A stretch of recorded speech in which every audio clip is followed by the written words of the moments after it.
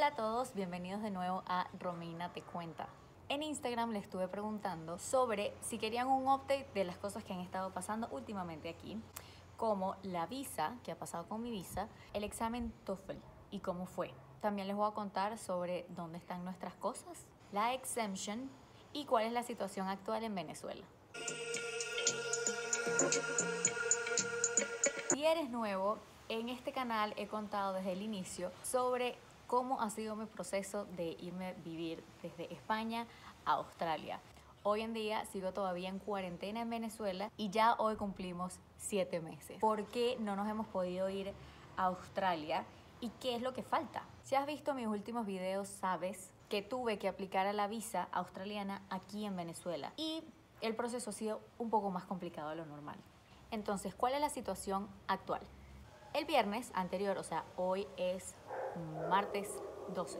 No mentira, es martes 13. Bueno, X. Tuve que hacer mi examen TOEFL. En la visa me exigían un nivel de inglés. A ellos no les sirvió las cartas que les pedí a mi colegio, que estudié en un colegio bilingüe. A, e, ellos eso en verdad no les importaba mucho, porque aparte yo no estoy aplicando para una visa estudiantil. O sea, yo no voy para allá a estudiar, sino a la visa que se llama Work and Holiday. Este, esto ya lo expliqué también en otro video. Si quieren un poco más de detalles, me dicen y les explico. Hace dos meses apliqué para hacer este examen de inglés. ¿Y por qué se tardó dos meses? Porque aquí en Venezuela nada más estaba disponible por el COVID, más que nada, un centro. Entonces estaban haciendo un examen por mes. Como saben, ya llevo como cinco meses aplicando esta visa y todavía no tengo los papeles completos. ¿Cómo hice para comprobar que puedo hablar inglés? Con el TOEFL. A nadie le gusta ese examen, o sea, yo en el colegio sinceramente, yo veía a mis amigas fajadas porque bueno, querían entrar a una universidad privilegiada, capaz irse a estudiar afuera, etcétera. Yo la verdad es que eso nunca había sido de mi interés y lo veía algo como bacala, o sea, ¿por qué? O sea, y aparte no tenía sentido en, en mi proceso mental, yo no le veo ningún sentido a este tipo de exámenes pero bueno, así, si son nuestros sistemas, ¿y qué vamos a hacer? Obviamente, cuando a mí me pide gobierno australiano que yo tengo que aplicar a esta, para la visa, mi último papel es la certificación del TOEFL o que saqué los puntos necesarios, obviamente Carmen's a bitch, y me dijo como que, ajá, tú no te salvaste después de 10 años que te graduaste del colegio, ahora vas a presentar el TOEFL a ver si tú en verdad aprendiste algo en tu vida y sabes inglés. Bueno, ustedes también dirán, bueno, tuviste dos meses para prepararte. No, eso es mentira. Yo no, no me preparé, no estuve, bueno, mentira. Sí estudié, porque creo que es primera vez en mi vida que me siento y estudio. Porque bueno, yo he estado trabajando y en verdad hemos estado pasando por bastantes procesos aquí en Venezuela, tanto bueno de la mudanza, tanto del trabajo de David mío, muchas situaciones personales y también la visa. Entonces yo en verdad esperé a último momento, como siempre, a estudiar.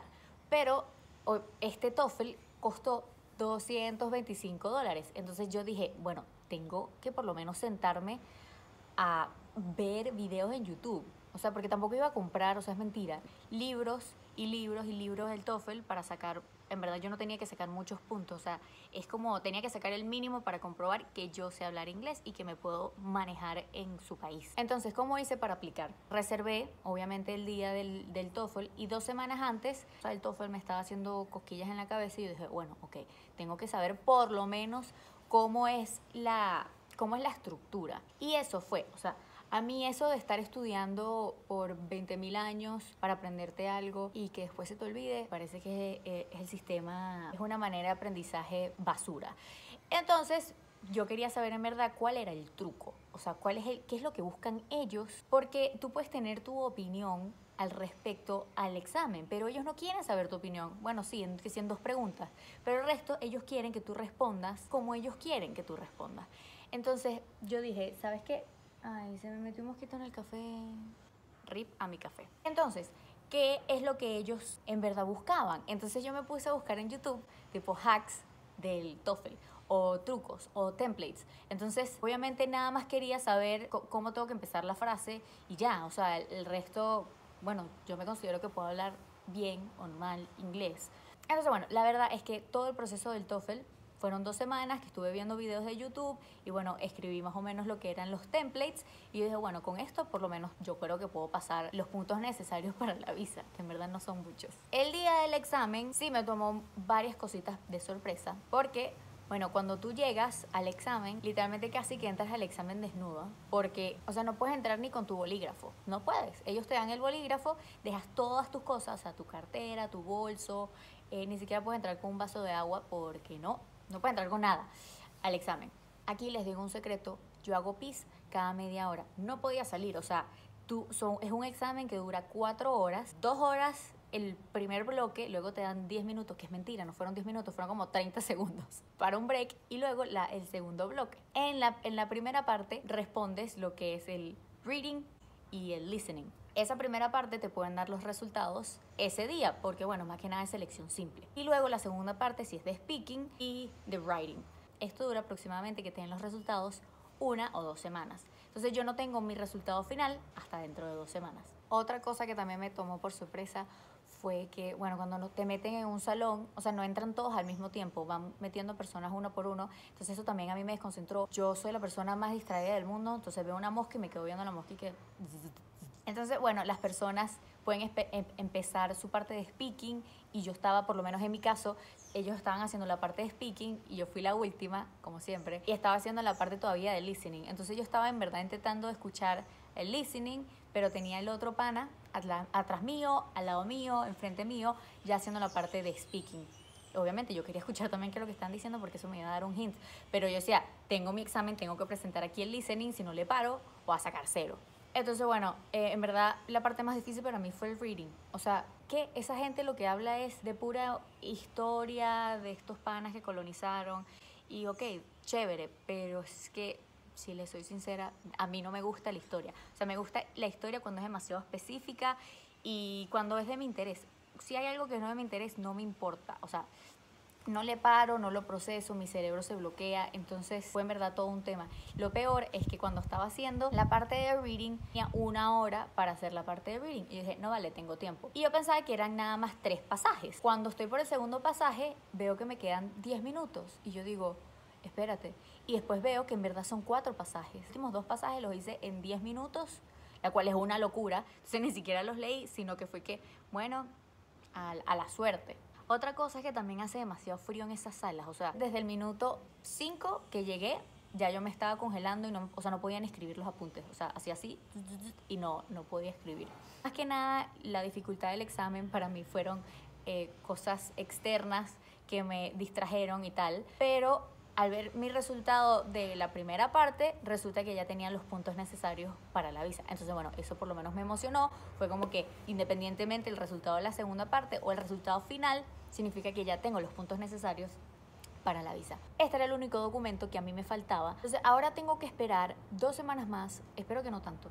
Ellos dieron entre 10 días y 14 para yo poder meter ya este papel y que me acepten la visa. Si quieren más detalles sobre el TOEFL se los puedo contar, pero ya creo que ahí me fui, ya en este video me fui por la tangente y les estoy contando más de lo que debería. ¿Qué es otra cosa la cual está impidiendo que nosotros nos vayamos ahora a Australia? Bueno, aparte que me acepten la visa, obvio. Es la exemption. Es el permiso que te da el gobierno australiano para que tú puedas entrar.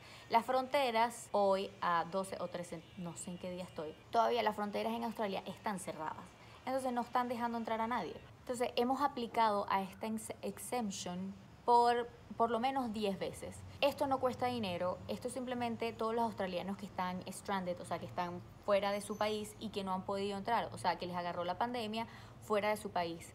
hay gente que vemos en el grupo, por lo menos de Facebook, que ha aplicado 30 y pico de veces y se la rechazan. Y ahora estamos aplicando la estrategia de aplica una hora diferente. El uso horario es totalmente diferente aquí en Venezuela que en Australia. Entonces yo dije, bueno, nosotros cuando estamos aplicando, allá es la mañana. Pero tú sabes, la gente es amargada y si ellos no tienen su café en la mañana, capaz no quieren aceptar a nadie entrar a Australia. Entonces dijimos, vamos a aplicar más tarde para ver si la gente del mediodía es más pana. A ustedes les puede parecer una estrategia, estrategia medio tonta, pero si sirve, ya les echaré el cuento. Y ese es el caso con la exemption. Entonces, para que todo esto suceda, nosotros primero necesitamos, primero, que me den los resultados del TOEFL, que me acepten la visa y que luego nos acepten la exemption. Cuando nos acepten la exemption es que nosotros podemos empezar a ver cómo vamos a entrar a Australia. Porque aparte, aquí en Venezuela, ya Maduro acaba de decir ayer que extendió la cuarentena por otro mes más. O sea, vamos a tener ocho meses de cuarentena en este país. Otra cosa por la cual también tenemos que esperar es por nuestras cosas que están en el, en el medio del océano. Se supone que llega ahora final de octubre, pero bueno, aquí nunca se sabe cuándo se va a llegar o cuándo se va a ir, entonces a esperar, se ha dicho. Igualmente ya les estaré contando sobre qué pasó con la visa, si me la aceptaron, si no me la aceptaron, si mm, con el tema del TOEFL, si la exemption algún día me la terminan de aceptar y cuáles van a ser nuestros siguientes pasos para poder llegar a Australia. Si no me sigues en YouTube o en mi cuenta, sígueme en Instagram, Romina te cuenta para más detalles y si no, aquí en mi canal de YouTube en Romina te cuenta. Suscríbete para que te lleguen todas las notificaciones cada vez que yo haga un video. Espero que estén bien y nos vemos en el próximo video. Bye.